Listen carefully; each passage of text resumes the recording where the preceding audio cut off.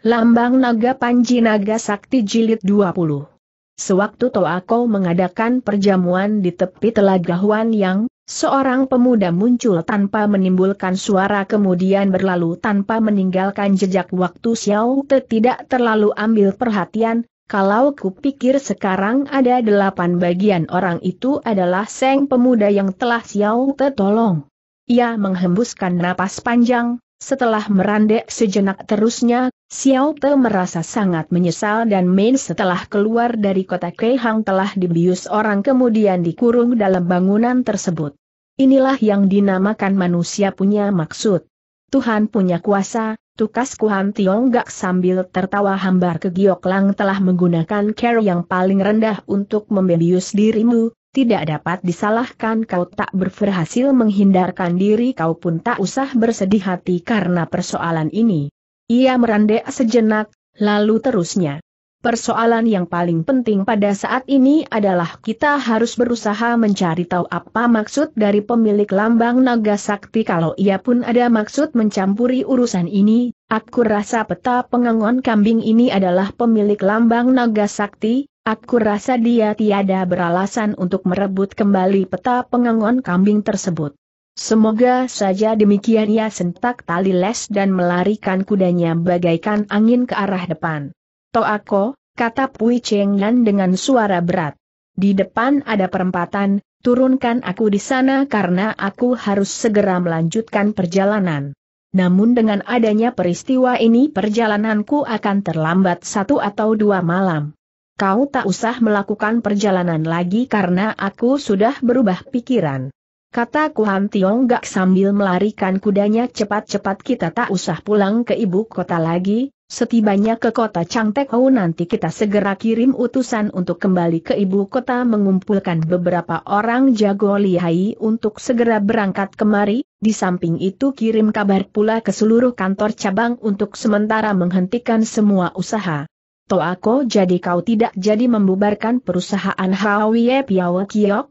Urusan ini amat penting dan mempunyai sangkut paut yang besar dengan peristiwa Buin, aku rasa dalam waktu singkat susah memberi penjelasan kepada mereka.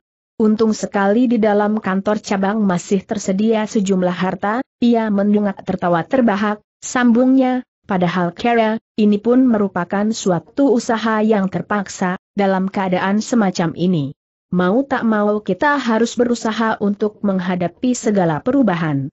Toako, menurut pandangan setelah Kegiok Lang mendapat peringatan tersebut dapatkah ia memusuhi kita lagi? Kegiok Lang tidak akan berpeluk tangan tapi berhubung nama lambang naga sakti terlalu besar ia tentu dibuat jari. Saat ini hanya ada dua persoalan saja membuat aku masih kebingungan. Persoalan apa? Kegiok Lang beritahu padaku bahwa di dalam kamar Nona Liu Wan Jie ia telah menemui lambang naga sakti, maka dari itu usahanya mencuri dibatalkan dan diganti menghadiahkan sebutir pil mujarab, kemudian secara dia mengundurkan diri, soal ini apakah kau tahu? Pertama kali Tian Lam sah setelah membuka horden kereta yang ditumpangin Ona Liu dengan ketakutan ia mengundurkan diri, Kedua kalinya ke Giok Lang kembalikan peta pengangon kambing dan melarikan diri, kedua kalinya ke Giok Lang menjalankan siasat memancing harimau turun gunung menyingkirkan diriku dari rumah penginapan dan ia sendiri menyelundup masuk menguasai seluruh anak buah perusahaan dan menerobos ke dalam kamar Liao Wan Jie, tapi akhirnya ia pun batalkan maksudnya, setelah menghadiahkan obat mujarab lantas mengundurkan diri. Kalau begitu Lo Tian Sam Sah serta Kegiok Lang telah menjumpai lambang naga sakti. Soal ini Xiao Te kurang jelas, aku serta Piao Tau pernah melakukan penelitian sampai beberapa kali, namun semua usaha kami menjumpai kegagalan. Kecuali lambang naga sakti di kolong langit rasanya tak ada barang kedua yang bisa mendatangkan kekuatan sebesar itu sehingga dapat memaksa barang yang ada di tangan dikembalikan lagi, namun ditinjau dari sudut ini rasanya dapat ditarik kesimpulan pemilik lambang naga sakti itu hanya bertindak demikian demi Liu Han Jie. Pui Cheng yang termenung sebentar, lalu ujarnya. Seandainya Liu Wanjie mempunyai pemilik lambang naga sakti sebagai tulang punggungnya, Bagaimana mungkin ia malah suruh ayahnya menyerahkan peta pengangon kambing itu? Ehem. Perkataanmu memang Cheng Li ia mendehem ringan apakah kau yakin Liu Han Jie benar-benar tak dapat ilmu silat? Secara diam-diam Xiao Tei pernah melakukan pemeriksaan sebanyak beberapa kali kecuali ia berpura-pura sangat persis sehingga mataku bisa dikelabui, aku rasa ia benar-benar seorang gadis yang tidak mengerti akan ilmu silat. Seorang gadis yang sama sekali tidak mengerti akan ilmu silat agaknya tidak mungkin bisa berkenalan dengan pemilik lambang naga sakti namun bila ditinjau dari nada ucapan kegiok lang ia benar-benar menjumpai lambang naga sakti tersebut. Liu Wanjie adalah seorang putri pembesar, setiap hari ia bersembunyi di istana belakang, bagaimana ia bisa menjumpai lambang naga sakti? Peristiwa ini benar-benar membuat orang merasa sedikit tidak paham. Sungguh tidak kusangka, lambang naga sakti yang tidak pernah muncul selama puluhan tahun bisa muncul kembali dalam dunia persilatan bahkan tersangkut paut dalam persoalan kita, hal ini membuat orang tak bisa menebak rejeki atau bencanakah yang bakal kita terima. Lari kuda jempolan yang mereka berdua tumpangi amat cepat sekali, walaupun dua orang berada di atas satu pelana namun tak mengurangi kecepatannya untuk bergerak. Tidak selang beberapa saat kemudian mereka telah melakukan perjalanan sejauh puluhan li dan tiba-tiba di sebuah kota kecil. Kita harus bersantap dahulu sebelum melanjutkan perjalanan, kata Kuhan Tionggak sambil tertawa, ia segera loncat turun hari atas pelananya. Kemudian langsung berjalan masuk ke dalam sebuah kedai arak. Walaupun tempat itu hanya sebuah kota kecil, tapi berhubung merupakan urat nadi dari perdagangan maka tetamu yang singgah di sana pun amat banyak, ruangan yang cukup besar saat ini boleh dikata hampir penuh. Seng pelayan datang menyambut, sambil bongkok badan serta wajah penuh senyuman serunya, Hekoan berdua silahkan duduk. Ia membawa kedua orang itu masuk ke dalam ruangan, Sinar mata berputar memeriksa apakah tempat duduk kosong, sedang pelayan lain segera menyambut tali les dari tangan Kuan Tiong Gak. Melihat ruangan kedai itu sangat penuh, Kuan Tiong Gak ada maksud mengundurkan diri, namun sewaktu ditemuinya para tetamu yang ada di sana sebagian besar adalah orang Kangou ia batalkan niatnya. Di atas jalan raya banyak berlalu lalang manusia, menjumpai seorang dua orang jaga Kangou sebenarnya bukan merupakan suatu kejadian besar, tapi kali ini Kuan Tiong tak telah menjumpai jago Kangou yang hadir di sana dalam jumlah sangat banyak. Yang membuat Kuan Tiong gak tidak paham adalah berpuluh-puluh orang jago Kangou itu rata-rata mempunyai pikiran dalam hati, setiap orang dengan kepala tertunduk, alis berkerut dan wajah kesal menikmati hidangan masing-masing. Inilah yang menimbulkan rasa ingin tahu dalam hati Kuan Tionggak, ia berharap bisa menemukan sesuatu dari mereka. Sementara itu dengan susah payah akhirnya Seng pelayan berhasil mendapatkan dua buah tempat kosong, buru-buru ia persilahkan kedua orang itu ambil tempat duduk. Ya ya berdua hendak makan apa tanyanya. Sepoci arak bagus serta beberapa macam sayur yang paling lezat dari kedai kalian. Seng pelayan mengiyakan dan segera berlalu. Tempat duduk Kuan Tiong Gak serta Pui Cheng Yan adalah sebuah meja kecil dekat jendela, di sekeliling mereka duduk adalah para pelancong, kuli serta berbagai ragam manusia. Beberapa saat kemudian Seng pelayan datang menghidangkan arak dan sayur yang dipesan. Kuan Tiong GSK memenuhi dahulu cawan mereka berdua, lalu bisiknya lirih, apakah kau sudah menemukan sesuatu? Pui Cheng Yan mengangguk. Dalam kedai terdapat tidak sedikit jago kangou.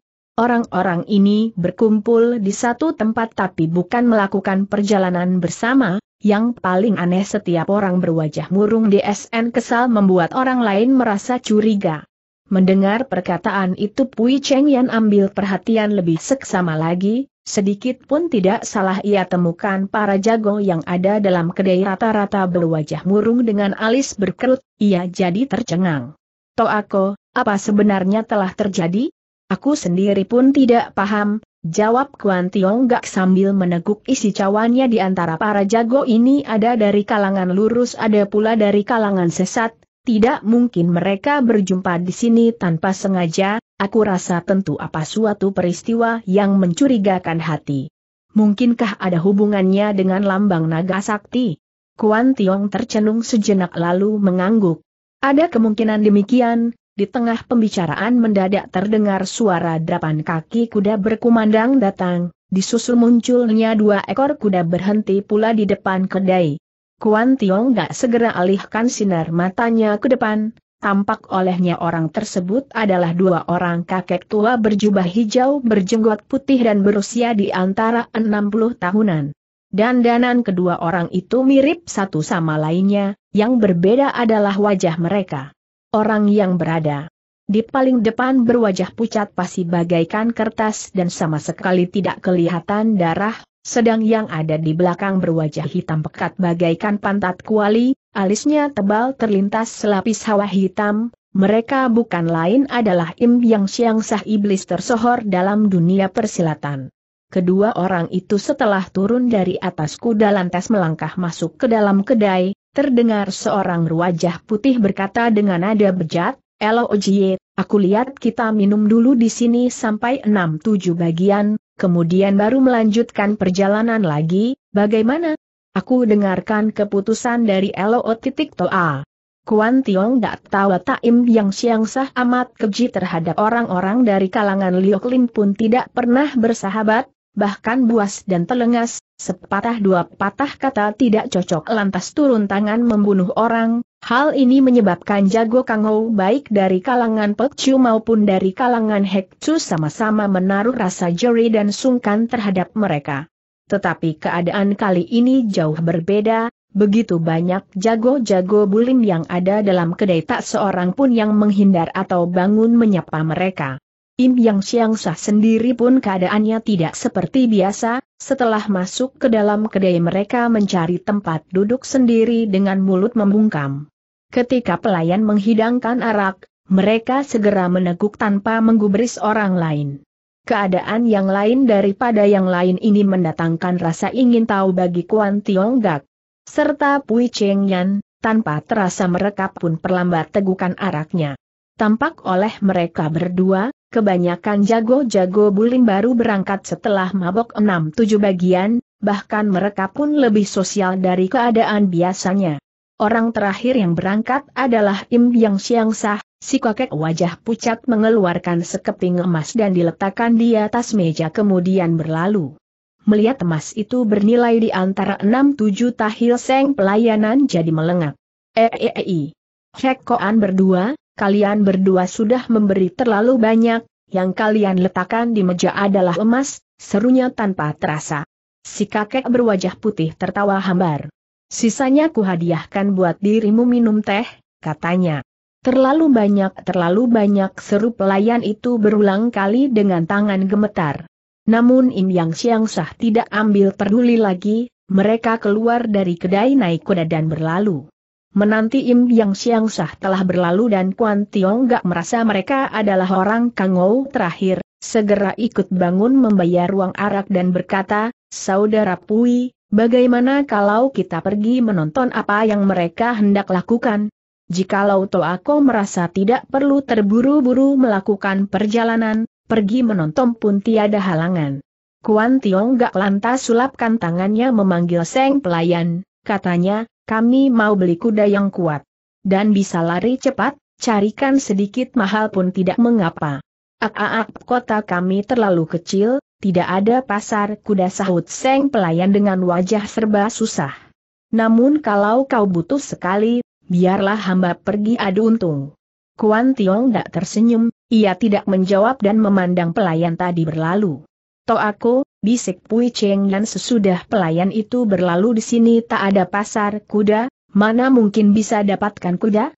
Tidak mengapa nasib pelayan itu sangat baik karena dari ucapan itu Pui Cheng Yan bisa menangkap suatu maksud tertentu, maka ia membungkam.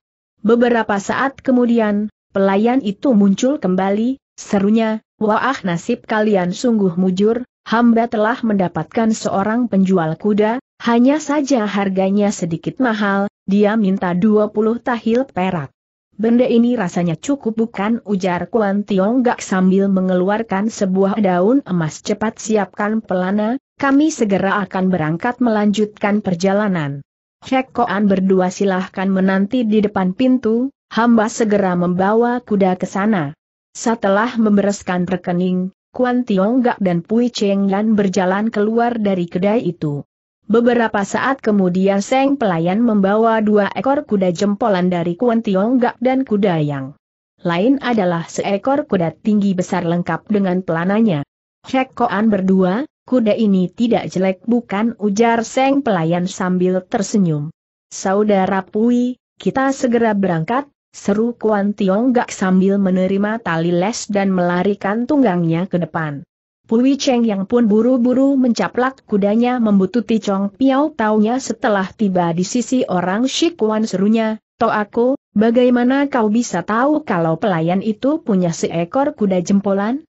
Tadi aku melihat seorang jago bulim tidak cukup untuk membayar uang araknya ia lantas menggunakan kudanya sebagai alat pembayaran, kalau ditinjau dari wataknya orang ini tidak mirip jago dari kalangan lurus, namun ia rela menggunakan kudanya untuk ditukar dengan santapan, ini menunjukkan dua persoalan, mereka sedang menghadapi suatu peristiwa besar yang tak dapat dihindari lagi, dan mereka tak dapat menentukan nasib sendiri, maka dari itu mereka tak ingin ribut lagi dengan orang lain dan semua persoalan berusaha dikekang.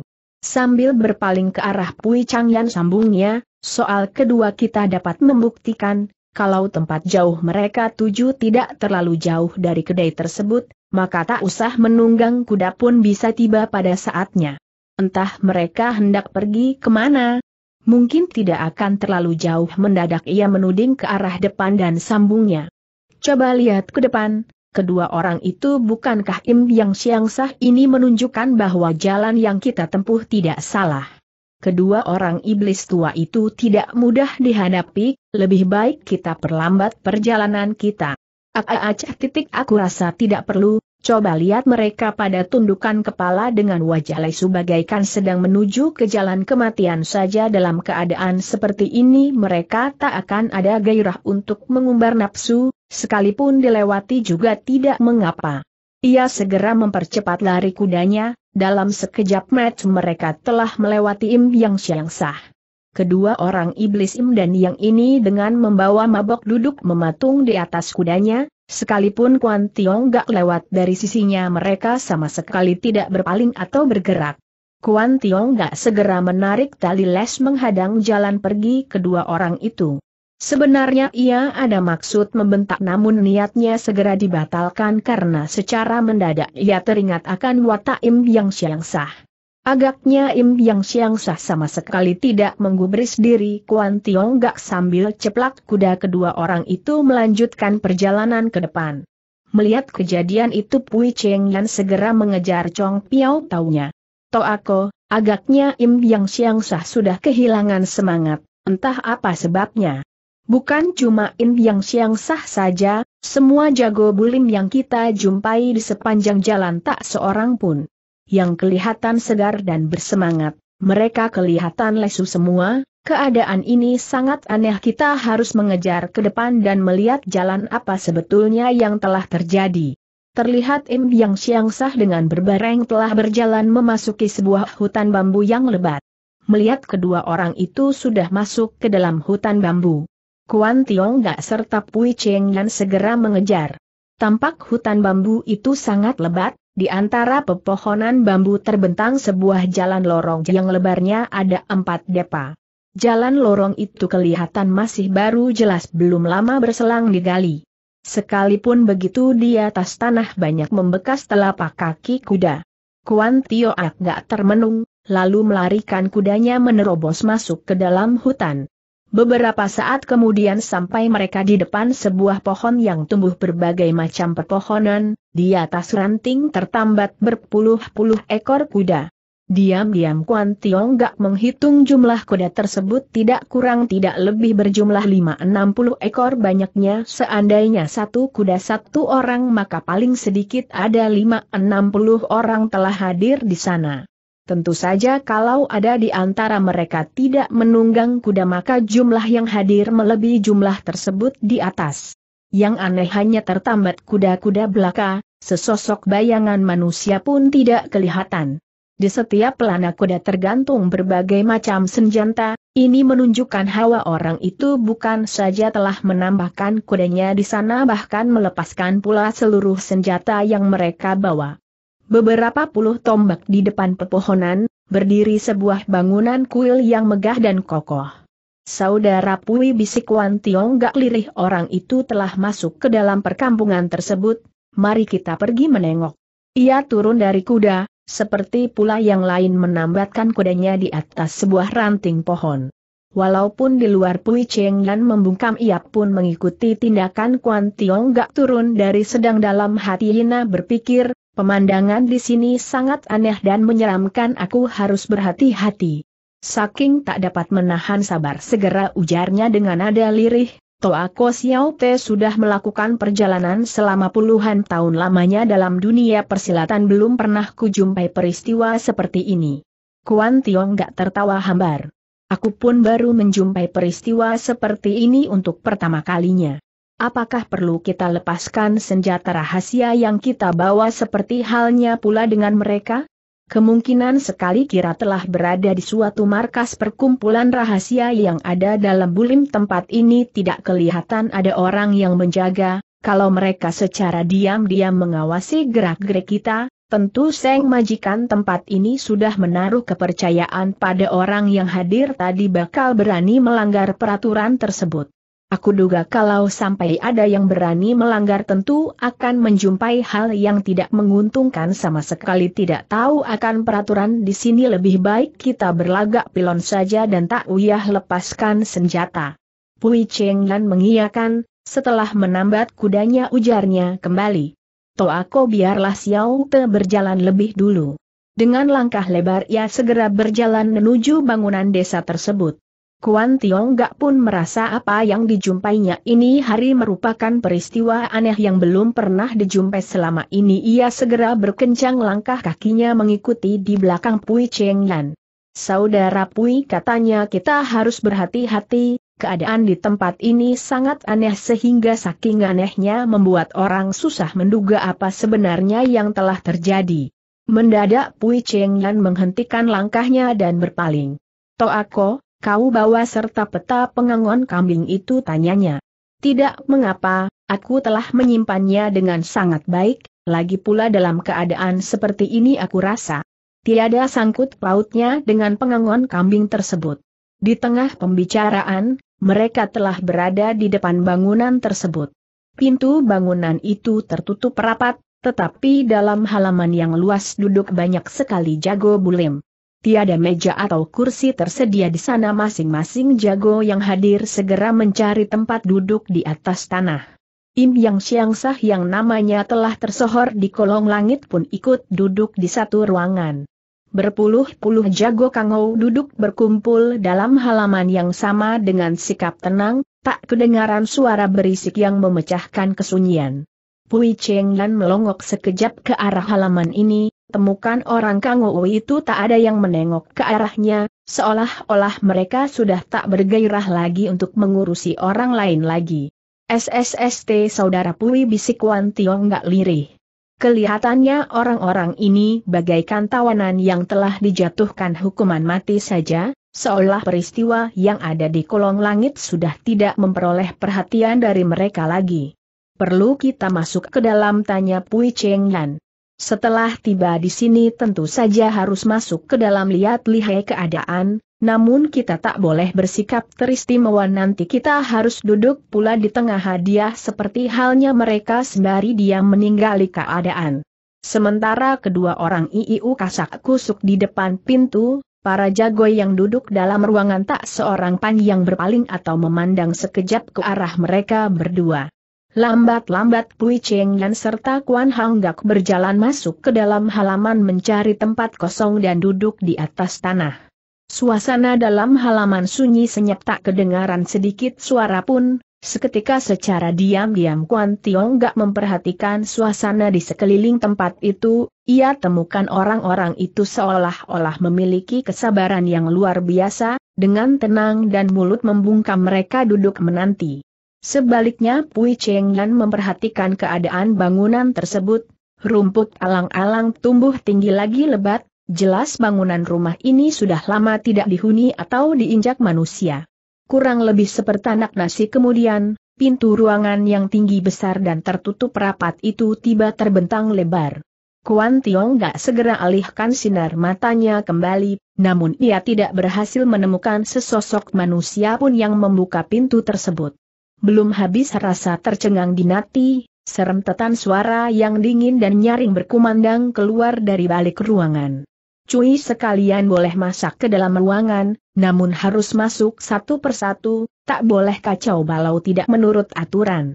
Sepasang sinar mata Kuan Gak yang tajam dialihkan ke dalam ruangan dan menyapu empat penjuru dengan seksama, namun agaknya orang-orang barusan.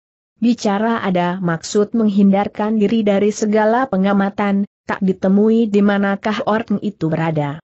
Tampaklah para jago yang semula duduk di depan halaman bersama-sama bangkit berdiri, berbaris jadi satu barisan panjang dan lambat berjalan masuk ke dalam ruangan. Tiada seorang PNN yang berebut tempat, semuanya mengikuti aturan dengan bebas, secara bergilir masuk ke dalam. Melihat kejadian itu tak kuasa lagi Kuan Tiong gak berpikir dalam hatinya, Sebagian besar jago yang hadir di sini merupakan jago-jago lihai dari kalangan Hektu. Mereka sudah terbiasa mengumbar watak sombong, tinggi hati, jumawa dan susah diatur, untuk memaksa mereka berjalan dengan care antri semacam ini benar-benar bukan suatu pekerjaan yang sangat gampang. Sementara hatinya sedang berpikir, ia pun segera bangkit berdiri dan menggabungkan diri dengan barisan tersebut. Setelah melalui pengamatan yang seksama selama beberapa saat, Kuan Tiong gak merasa Im Yang Siang Sah merupakan jago kalangan Siatu yang memiliki kedudukan paling tinggi di antara jago-jago lainnya, karena sebab itu sengaja ia beserta Pui Cheng Yan berbaris di belakang Im Yang Siang Sah sembari mengamati perubahan selanjutnya. Setelah masuk ke dalam ruangan, tercium bau amis darah berhembus lewat membuat perut seketika merasa mual. Agaknya sejak semula Im Yang Siang Sah sekalian sudah mengerti akan peristiwa tersebut, mereka tetap melanjutkan langkahnya ke dalam dengan lambat dan sama sekali tidak menunjukkan suatu pertanda aneh, sebaliknya Kuhan Tiong Gaklah yang merasa hatinya sedikit terkesiap. Ketika ia angkat kepala ke atas, tampak di sebuah ruangan yang lebar dan luas teratur puluhan buah meja yang diatur dan dijejerkan satu sama lainnya sehingga membentuk sebuah meja yang panjang. Perabot yang ada dalam ruangan tersebut kecuali meja berjajar-jejer yang membentuk sebuah meja panjang, tak kelihatan benda lain, bahkan sebuah kursi pun tidak nampak.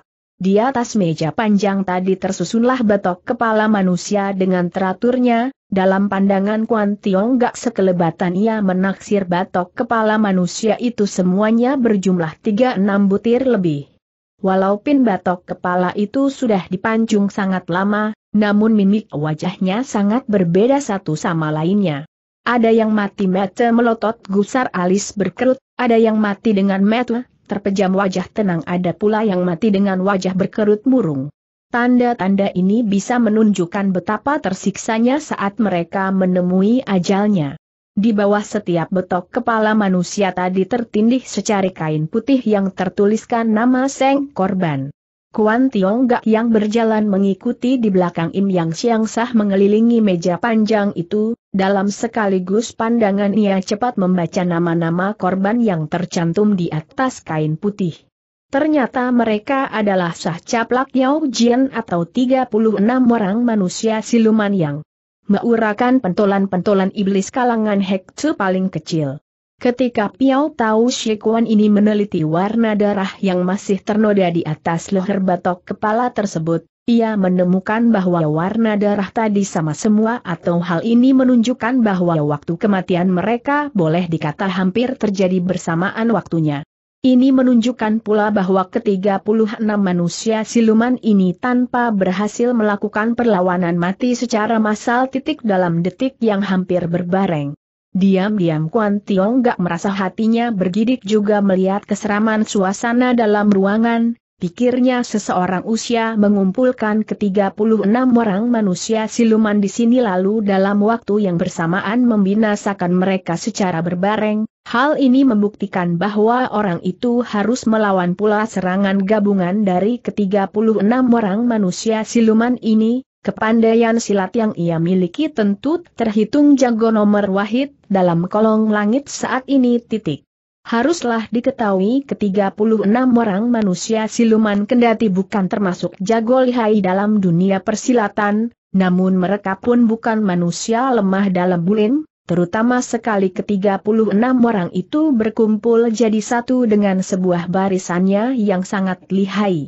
Dengan barisan tersebut, pada beberapa tahun berselang mereka pernah mengalahkan tiga orang padri lihai dari Xiao Limbe karena peristiwa itulah nama mereka segera menanjak di kalangan Hek Chu maupun kalangan Pek Chu. Kebanyakan orang tidak berani mencari Gara-gara dengan ke-36 orang manusia siluman tersebut secara gegabah, hal ini membuat tingkah laku mereka semakin garang dan semakin sombong. Tidak disangka, ternyata ini hari ke-36 orang manusia siluman itu sudah menemui ajalnya secara berbareng di tangan seseorang. Sementara ia masih termenung, badannya dengan mengikuti di belakang Im Yang Siang Sah telah tiba di sebelah ujung ruangan. Agaknya orang-orang yang masuk ke dalam mangan itu sejak semula sudah ada perjanjian. Setelah mengitari meja panjang tadi mereka bersama-sama jalan ke ujung ruangan besar itu dan berdiri di sana dengan teratur dan rapi. Kuan Tiong Gak serta Pui Cheng Yan pun menggabungkan diri dalam barisan tersebut. Di belakang mereka berdua masih terdapat banyak sekali orang beberapa saat kemudian semua orang sudah masuk ke dalam ruangan dan berbaris membentuk sebuah kalangan yang teratur dan rapi tak kedengaran sedikit suara berisik pun. Enam tujuh puluh orang jago sana sama berdiri tenang di sana, tak kelihatan seseorang menunjukkan suatu gerak-gerik, kecuali suara, ringkikan kuda yang berkumandang tiada hentinya dari luar halaman ruangan. Sepertanda nasi lamanya sudah lewat, namun masih tidak kedengaran sedikit sunda pun. Saudara Pui tak tertahan lagi Kue Tiong gak bukan suara bebisik kita tidak bisa berdiam terlalu lama di sini, kita seharusnya segera berangkat. Pergi-pergi ke mana tanya Pui Cheng yang tertegun. Agaknya pikiran serta kesadarannya telah terpengaruh oleh suasana kematian yang meliputi seluruh ruangan itu. Meninggalkan tempat ini. Mungkin beberapa patah kata ini ditetapkan sehingga tanpa terasa Im Yang Siang Sah sama-sama berpaling memandang sakejap ke arah kedua orang itu. Kuan Tiong gak tahu kedua orang manusia ini paling susah dihadapi, ia segera berlagak pilon dan tidak menggubris mereka berdua. Im Yang Siang Sah agaknya kenal dengan Kuan Tiong Gak, namun seolah-olah baru sekarang mereka menjumpainya. Terdengar salah seorang di antaranya tertawa hambar dan menegur, oh oh oh oh kiranya Kuan Chong Piao Tau pun datang. Sebetulnya Kuan Tiong gak ingin menanyakan kejadian sebenarnya, tetapi setelah teringat akan watak Im yang siang sah ia merasa jauh lebih baik tak usah banyak bicara dengan mereka berdua. Sambil menahan diri ia segera mengangguk. Benar, Xiao Te pun ikut datang. Pada saat itulah tiba-tiba terdengar suara teguran diringin berkumandang memenuhi seluruh ruangan, Lun Tiong Sieoh atau empat manusia jahanam dari Lun Tiong. Dari antara gerombolan manusia segera terdengar suara sahutan empat orang dengan nada yang serak gemetar. Kami empat manusia telah datang memenuhi perintah. Kuan Tiong gak segera mendongak di tengah ruangan entah sejak kapan telah muncul seorang manusia berjubah hitam dan duduk menghadap dinding membelakangi para jago. Kalau ditinjau dari dandanannya, mirip sekali dengan pakaian majikan lambang naga sakti yang tersohor itu. Terdengar suara tadi kembali membentak keluar. Empat orang lelaki kekar berwajah puas lambat-lambat berjalan keluar dari barisan sepasang kaki mereka berempat tiada hentinya gemetar, langkahnya kelihatan sangat berat seolah-olah susah digerakkan karena memikul beban seberat ribuan kati. Si orang berbaju hitam ini sama sekali tidak berpaling, namun bagaikan di punggungnya tumbuh sepasang metu saja ia segera membentak dingin. Cepatan dikit jalannya. Keempat orang itu sama-sama mengiyakan namun suaranya lirih dan kedengaran gemetar keras. Walaupun dalam hati ada maksud berjalan lebih cepat namun sepasang kaki tidak mau turut perintah. Sekarang boleh berhenti kembali si orang berbaju hitam itu memerintah. Empat manusia jahanam dari keresidenan Luntiong berhenti, namun badan mereka gemetar semakin keras membuat ujung baju bergoyang tiada hentinya dan setis orang dapat melihat hal tersebut dengan amat jelas. Karena seorang berbaju hitam itu duduk membelakangi para jago, maka semua orang tak dapat melihat bagaimanakah perubahan air muka serta raut wajahnya, tentu saja kecuali suaranya yang dingin dan ketus itu. Terdengar ia memerintah kembali, laporkan sendiri dosa-dosa kalian. Lun Tiong Suah dengan menuruti deretan kedudukan mereka berdiri berjejer dari kiri ke kanan. Terdengar Sang Helo Otoa berkata, kami empat bersaudara pernah merampas barang milik orang lain, pernah melanggar pantangan memperkosa, sepasang tangan penuh dengan darah dosa kami sudah bertumpuk-tumpuk titik. Hektometer yang kutanyakan adalah peristiwa yang terjadi sewaktu bulan Tiong Chiu tahun ini tukasi orang berbaju dingin ketus. Orang yang ada di paling kiri segera menyambung. Hari itu kami telah merampok sebuah kereta berdua, melukai pemilik kereta, tua muda empat orang ditambah seorang kusir yang ada dalam kereta tersebut semuanya mati di tangan kami berempat. Si orang berbaju hitam tertawa dingin seketika Elo Otoa yang sedang mengaku semua dosanya membungkam dan berdiri terbelalak. Suara tertawa dingin itu sama sekali tidak istimewa, kedengaran menusuk telinga, tetapi berada dalam keadaan seperti ini mendatangkan suatu perasaan yang aneh membuat hati bergidik. Elo Otoa dari empat manusia jahanam Lun Tiong Sieon membungkam dalam seribu bahasa, menanti suara. Tertawa dingin tadi sudah lenyap beberapa saat itu baru berkata kembali lambat-lambat. Setelah peristiwa tersebut kami baru menemukan kalau di atas kereta tenebat ter, ter terdapat si selembar lambang-lambang naga sakti. HMNM, apakah metu kalian sudah buta semua? Cai He sekalian patut dihukum mati, seru Lun Tiong Sieon hampir berbareng. Bagus, sekarang kalian, harus mati, turun tanganlah sendiri, dengan demikian kalian masih bisa mempertahankan jenazah yang utuh. Di atas air muka Lun Tiong Sieoh terlintas suatu perasaan putar asa, mereka saling bertukar pandangan sekejap kemudian sama-sama menggaplok ubun-ubun sendiri. Empat sosok jenazah bersama-sama roboh menggeletak di atas tanah. Sementara Lun Tiong Sieoh bunuh diri si orang berbaju hitam itu sama sekali tidak berpaling barang sekejap pun. Kembali ia tertawa dingin. Oh Tiong Chie Hau tujuh orang lelaki setengah baya menyahut dan berjalan keluar dari barisan. Pindahkan dulu jenazah dari Lun Tiong Oh ke bawah meja panjang sebelah sana. Ketujuh orang itu tanpa membantah lagi bersama-sama memindahkan jenazah Lun Tiong Oh ke tempat yang dimaksud kemudian balik ke depan manusia berbaju hitam itu. HMM. Kalian tahu dosa? Tujuh harimau dari Oh Tiong sama-sama dibikin ketakutan, sahutnya berbareng, kami tahu dosa.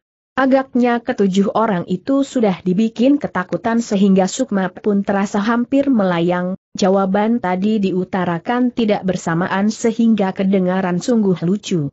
Bagus, kalau kalian sudah tahu salah hal ini lebih bagus lagi, sekarang cepat turun tangan membereskan diri sendiri.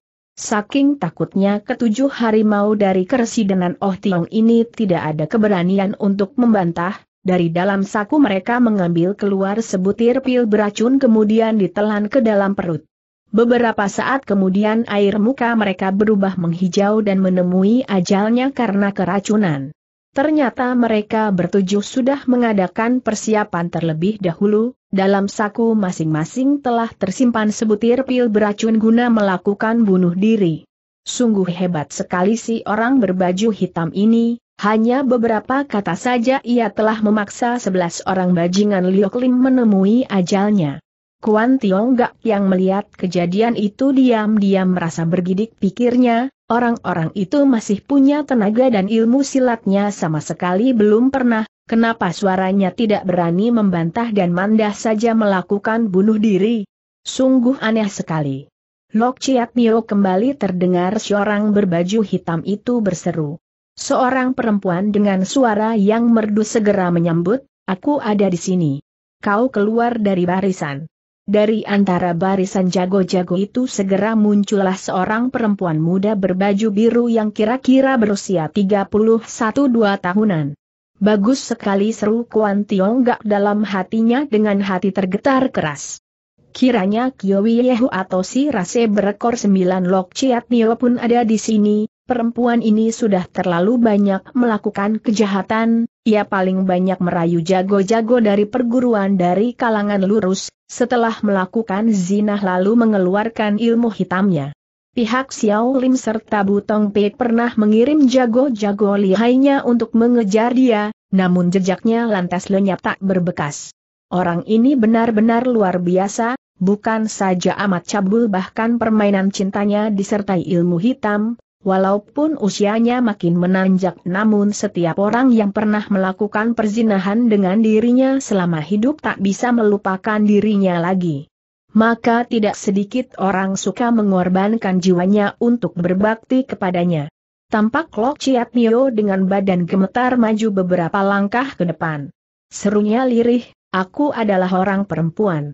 Aku tahu tukas si orang berbaju hitam itu dengan ada ketus maka dari itu aku mengizinkan dirimu untuk bunuh diri dengan menggantungkan diri. Apakah aku harus mati? EHM. Dengan kecantikan wajah kau memancing banyak orang, dosa yang kau lakukan sudah bertumpuk-tumpuk. Tetapi hal ini dikarenakan mereka punya keinginan sendiri, mereka tak bisa melupakan diriku dan rela tunduk kepada kutukas Lok Chiat Mio dengan cepat. Lain kali aku tak akan melanggar lagi dosa ini kalau kau dapat mengampuni selembar jiwaku, mulai saat ini aku akan masuk ke dalam darah cukur rambut sebagai Niko, sepasang hidup tak akan berbuat dosa lagi. Lok Chiat Mio adalah seorang perempuan cabul yang sudah memiliki pengalaman banyak dalam hal bercinta, tingkah laku serta setiap ucapannya mendatangkan perasaan sayang serta mempersonakan bagi orang yang mendengar. Namun si orang berbaju hitam itu sama sekali tidak terpengaruh oleh ucapan itu, kembali ujarnya dengan suara dingin, sejak lambang naga sakti muncul dalam duria persilatan, ia telah menetapkan peraturan yang harus dituruti oleh semua orang, walaupun kau sudah banyak melakukan perbuatan keji dan cabul, asalkan hal tersebut sama sekali tidak menyinggung nama baik lambang naga sakti, aku pun tak akan mengurusi dirimu. Namun kau berani pandang hina lambang naga sakti, dosamu ini tak bisa diampuni lagi. Mengingat kau adalah seorang perempuan aku biarkan kau mati dengan badan utuh, sekarang cepatlah pergi gantung diri untuk menebus dosa-dosa tersebut. Air mata jatuh berlinang membasahi kelopak matanya, dengan suara keras ujar Lok Chiat Nio kembali. Lambang naga sakti sudah ada puluhan tahun lamanya lenyap dari dunia persilatan. Sejak aku dilahirkan dalam kolong langit belum pernah terdengar berita tentang lambang naga sakti itu lagi, Pepatah kuno mengatakan begini, yang tidak tahu tidak berdosa sekalipun aku telah menjumpai lambang naga sakti tetapi aku tak mengenalinya. Mendengar perkataan itu Kuan Tiong gak segera berpikir dalam hatinya. Walaupun Lok Chiat Mio bukan termasuk seorang manusia baik, tetapi apa yang diucapkan memang amat cengli. Namun si orang berbaju hitam itu sudah menegur dengan suara dingin. Kalau begitu, aku sudah salah menuduh dirimu. Seandainya kau suka bicara menurut Cheng Li, tidak seharusnya kau paksa aku untuk melakukan bunuh diri. Kenapa gurumu tidak beritahukan persoalan lambang naga sakti ini kepadamu sekalipun kau tidak berdosa namun peristiwa ini akan merembet ke seluruh perguruanmu. Sekalipun begitu, tetapi guruku yang menurunkan ilmu silat kepadaku sudah lama meninggal. Si orang berbaju hitam itu segera tertawa dingin. Lek Chiat Nio, kau tidak usah membantah lagi sekalipun guru yang menurunkan ilmu silat kepadamu benar-benar sudah mati, tetapi di antara perguruanmu tentu masih ada orang lain. Majikan Lambang Naga Sakti bukan seorang manusia yang gampang ditipu, tetapi majikan Lambang Naga Sakti pun bukan seorang manusia yang tidak pakai aturan, kau tetap tinggal di sini, nanti aku bawa kau pergi ke perguruan untuk mencari bukti. Tetapi kau harus tahu dulu, kalau kau bicara bohong maka aku akan menggunakan suatu cara yang paling keji untuk mencabut selembar jiwamu. Lok Chiat Nio seketika dibikin tertegun. Agaknya belum aku mati, hatimu belum mau terima. Ia lepas ikat pinggangnya dari badan lalu diikat di atas tiang ruangan dan membuat sebuah simpul hidup, setelah itu sambil mengucurkan air mata ujarnya. Apakah terhadap seorang perempuan pun kau tidak mau melepaskan? Hektometer melepaskan dirimu bukankah sama arti telah melanggar pantangan lambang naga sakti dalam menghukum mati seng pelanggar. Perlahan-lahan Lok Chiat Nio menghela napas panjang. Dalam dunia persilatan banyak terdapat manusia keji, namun tak ada yang lebih keji majikan lambang naga sakti, tak ada seorang korban pun yang dilepaskan sebelum mereka semua dibinasakan. Kepalanya segera dimasukkan ke dalam simpul hidup tadi, Tangan dilepaskan dan bambu bergantung di atas tiang, beberapa saat kemudian ia telah menemui ajalnya. Im yang siang sah suara pencabut nyawa dari seorang berbaju hitam itu kembali berkumandang datang. Im yang siang sah yang tersohor akan kekejiannya segera mengiyakan dan berjalan keluar dari barisan. Kalian berdua tahu dosa? Kami tahu salah. Bagus, kalian hendak turun tangan sendiri ataukah menanti aku yang turun tangan? Setelah kematian ada di ambang pintu perasaan takut dan cari yang semula meliputi kedua orang pentolan iblis ini malah lenyap tak berbekas, mereka jadi tenang sekali. Terdengar imsah yang ada di sebelah kiri tertawa kering, ujarnya, kami tidak ingin mati, harap kau orang tua suka memberikan budi yang istimewa kepada kami. Lek Chiat Mio seorang wanita pun sama halnya harus mati apalagi kalian berdua adalah lelaki sejati. Sejak dahulu Im Yang Siang Sah berkelana dan mengembara berbareng, dalam menghadapi serangan musuh pun mereka sudah punyai hubungan batin yang erat, ketika Im Sah sedang berbicara tapi diam-diam Yang Sah telah mengumpulkan hawa murninya ke seluruh badan. Belum habis si orang berbaju hitam itu menyelesaikan kata-katanya, yang sah telah turun tangan. Telapak kanannya diayun ke depan menghajar jalan darah Ming Chun Hiat pada punggung orang berbaju hitam itu. Bersama waktunya pula Im Sah mengalunkan tangannya ke depan, segenggam cahaya keperak-perakan segera meluncur ke depan. Kalau dibicarakan dari kepandaian silat yang dimiliki Im Yang Siang Sah ditambah pula jarak yang demikian dekatnya, untuk menghadapi serangan telapak serta senjata rahasia yang dilancarkan hampir berbareng bukanlah merupakan suatu pekerjaan gampang. Terdengar si orang berbaju hitam itu tertawa dingin, sembari putar badan pedangnya membabat keluar, Tampaklah serentetan cahaya tajam dengan menimbulkan desiran tajam meluncur keluar. Terdengar dua kali suara dengusan berat berkumandang memecahkan kesunyian, Im Yang Siang. Sehampir bersamaan waktunya tersambar pedang lawan dan roboh ke atas tanah.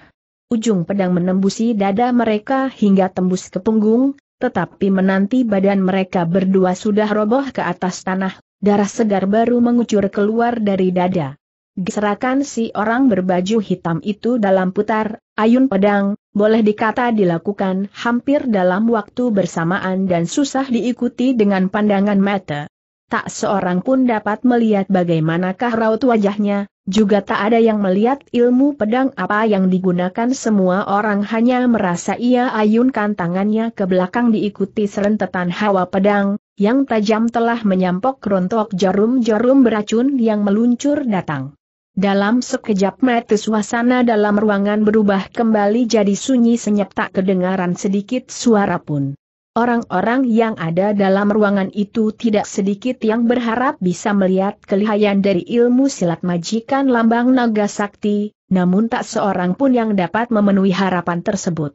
Kiranya, gerakan si orang berbaju hitam dalam putar badan melancarkan serangan dilakukan dengan kecepatan luar biasa sehingga sukar diikuti dengan pandangan mata. Sekalipun Kuan Tiong gak sendiri yang sudah membentangkan sepasang matanya lebar-lebar pun tak berhasil menemukan sesuatu apa pun.